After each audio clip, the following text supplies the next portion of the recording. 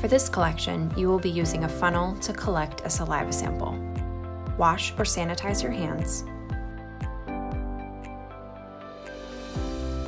Think about your favorite foods. This will begin pooling saliva in your mouth and make the collection much easier. Open the tube by twisting the cap off. Place the funnel in top of the tube.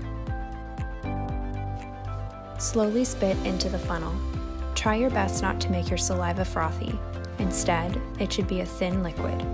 You may have to gently rotate the funnel in the tube to move the liquid into the tube. Fill the tube until it is approximately 3 quarters full. Remove the funnel from the tube and dispose of it in the trash.